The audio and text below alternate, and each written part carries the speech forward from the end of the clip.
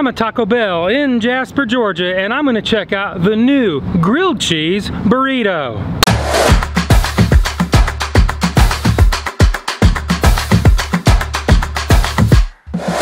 Three grilled cheese burritos, no drink, and I need a receipt. Okay, so I got a grilled cheese burrito and what else? Three grilled cheese burritos.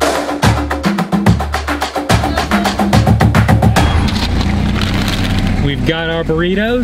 Now it's time to pull off to the side and do the Joe is hungry temperature test. This one clocks in at 137.9 degrees Fahrenheit. At Taco Bell, that equals put together as fresh as it's gonna happen.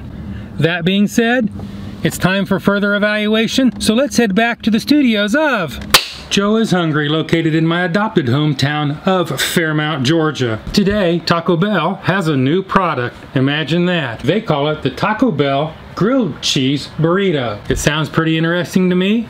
As you saw, we already did the Joe is Hungry heat test. It's up to temperature. This fancy little burrito is made up of seasoned beef, seasoned rice, a three cheese blend, crunchy red strip, chipotle sauce, reduced fat sour cream, wrapped up with a warm flour tortilla and a warm layer of grilled cheese. Each one of these will set you back $2.99 if ordered a la carte. If you want to get this thing as part of a $5 box, in addition to the grilled cheese burrito, you'll get a plain taco, cinnamon twist, and a medium fountain drink.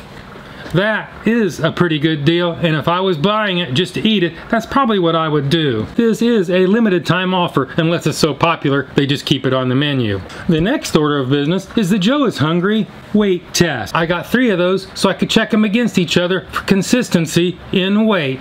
Burrito number one weighs in at 8.6 ounces. Burrito number 2 weighs in at 8.05 ounces. And burrito number 3 weighs in at 7.95 ounces. They're a little inconsistent, but what do you expect?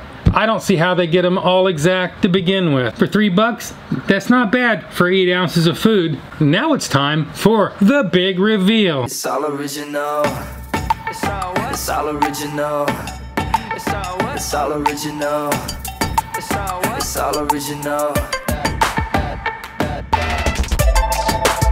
It's all original. It's all original. It's all original. You never seen it like this. I got something you don't wanna miss. The best part, I got you on the list. All access, pass on the wrist. So hands up. This is what it looks like, and this is what it's supposed to look like. This is what it looks like, and this is what it is supposed to look like. Now that we've seen all this, it's time to execute the Joe is Hungry bite test. Bite test, engage.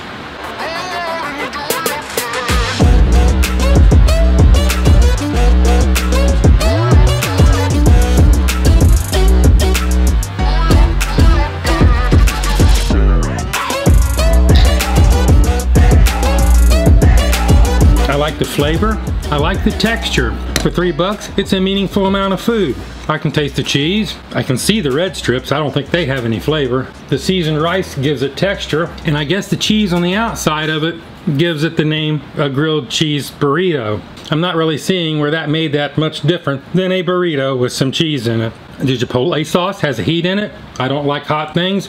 And it tends to overwhelm the rest of the sandwich. Kind of takes away from it. I actually had really high expectations on this thing.